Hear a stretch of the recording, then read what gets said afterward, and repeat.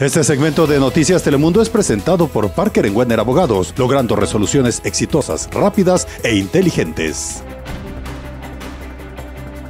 Hola, ¿qué tal? Muy buenas tardes, bienvenidos. Soy Lupita Humildad, le presento las noticias relevantes hoy viernes.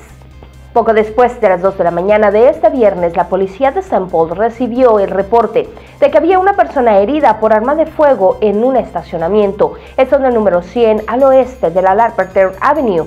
Al llegar le brindaron los primeros auxilios para luego ser relevados por los paramédicos, pero todo esfuerzo fue inútil y la víctima falleció. Es el homicidio número 17 del año en. Paul. De la ubicación donde murió el hombre se han recibido en el año más de 150 llamadas a 911, por lo que se considera una zona conflictiva.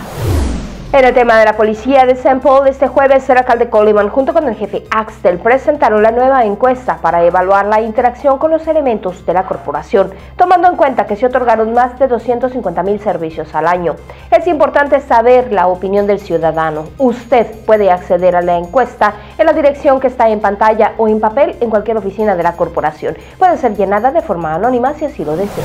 Este jueves, la asociación Women's March Minnesota realizó un panel sobre inmigración en la era de Trump. Entre las posturas destacó la de John Keller, que trajo a la memoria la redada de Worthington del 2006 y dijo, el miedo que se siente ahora no solo es el engendrado por las agencias de gobierno, sino por el racismo y las conductas de algunos individuos que se sienten con derecho a agredir a otros. Y dijo que no busca alarmar, pero que es importante que toda la sociedad sienta lo que pasa por la mente de los inmigrantes sin documentos.